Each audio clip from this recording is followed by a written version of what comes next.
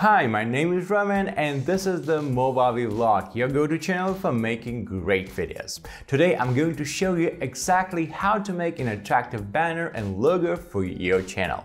We'll talk about the specific tips and tricks and also take a look at the inspiring examples of other creators' channel arts. But before we get started, be sure to subscribe to the channel and ring the bell.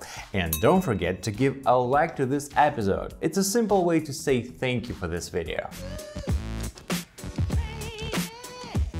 First of all, let's find out what banners are and why we need them at all. A banner is an important part of your personal or business brand on YouTube. In fact, this is the first thing that the viewers and your potential subscribers see when they look at the main page of your channel. That's why it's important for the channel art to be memorable and attractive. It should also correctly represent your style and the content you produce. Actually, the YouTube banner reminds me of some kind of a book cover. Of course, what's under the cover is the way more important, some useful facts or fascinating story, but inappropriate pictures, mistakes in the title, a lousy photo of the author or boring review on the cover all this could make a reader change the mind and buy a different book. You probably know the expression don't judge a book by its cover.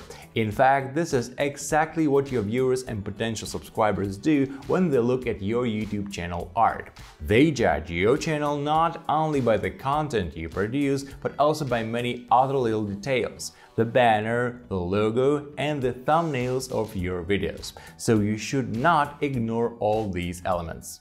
A banner has a few very important and useful features. It's not just an attractive picture. As you may see, different vloggers use their banners for different purposes. A YouTube banner may have a channel name or a slogan on it. A vlogger can post a photo collage of different snapshots from his or her videos. Some YouTube vloggers make banners with their portraits to emphasize their individuality. A popular vlogger or celebrity probably would like to show everyone what a large-scale audience they have. And some vloggers prefer to add their video release schedule to the banner. And you know what? This is a great idea. I strongly recommend you to put the release schedule of your videos on your banner. It will show your potential subscribers that your channel is alive and active. Also, a banner is often used for making announcements. It helps inform viewers about new season of a show, announce a new project or giveaway, promote a new video or a new album release. Today, one of the most popular trends is minimalistic banners. It is often used by vloggers or celebrities who don't need to be introduced. It can be just a cool drawn picture without any text, or a simple slogan, or a stylish photograph. It seems simple at the first sight, but it looks pretty aesthetic and cool to me.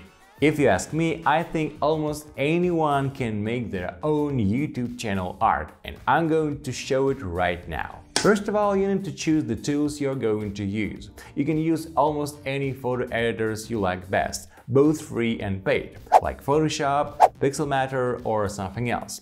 For my example, I'm using Movavi Photo Editor. As I said before, I personally prefer strong, clear and minimalistic banners with some basic information or even just a logo or a slogan of the channel. This is exactly the kind of banner we'll try to create now. I'm going to make a collage from three photos of mine. Here they are. I want to have the same background for all three, so first of all, I need to remove the original background from these photos. On our channel, there's a great tutorial on how to do it. I will leave a link down below. But to be honest, it's so easy to do that I can show it in a few seconds right now. In Movavi Photo Editor, there are two tools for that, an automatic background removal and a lasso. I will show you both options. Choose a photo and import it to the photo editor. There's a change background tool on the toolbar above. Use the green brush to mark the object you want to keep on the image. And use the red brush to mark the objects and backgrounds you want to remove. Now let's fix some small details, just a bit, and here we go. Save it in the PNG format. Okay, moving to the next photo. Now I'm going to show you how you can remove the background with the lasso tool. Let's select the object along the contour. Now we need to correct it a little bit. And that's it. This method takes a little more time, but it really helps if there are a lot of small details in the photo. Now we're going to do the same thing with the third photo and export all of them to a folder. By the way, before you start creating your banner, you should take into account how it will look on different devices. The same banner will look different in different browsers, on a TV, or mobile screens. That's why you should place the main info in the very center of the banner. In that case, it will be shown properly on any devices. I've already prepared a template. It's a 1546 to 423 rectangle. This is the size of a banner that will be visible on all devices. I will make a banner of this size and then put it on a bigger template. If you don't think about the safe zone of your banner, the important parts like your head or the channel's name may be cut off on small screens. It's a clear sign of being a beginner YouTuber who doesn't pay attention to details. Such a trimmed banner can ruin the impression and a trimmed slogan of your channel's name in general can create a comical effect. By the way, don't forget that there are links to social media in the lower right corner of the banner, so I recommend not to overlap this part of the banner with text or a lot of small details. It's not a good idea to put information there. No one will be able to read it because of the icons. Okay, moving on. Now I drop the template to the Movavi photo editor. Then I'm going to add all three photos one by one. I think it turns out quite well. Now I just need to add some text. Let it be a slogan of our channel, your go-to channel for making great videos. Here you can choose the appropriate size and font. By the way, it's better to use thick, clear and readable fonts so your viewers will be able to read it even on small screens.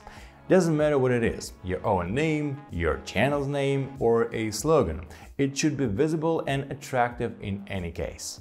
Most people watch YouTube videos on their laptops or phones, so you may not bother much about what your banner looks like on TV. Anyway, when uploading a YouTube banner, you should remember the recommended image size and the file size limit. For this reason, I drop a template to Movavi Photo Editor.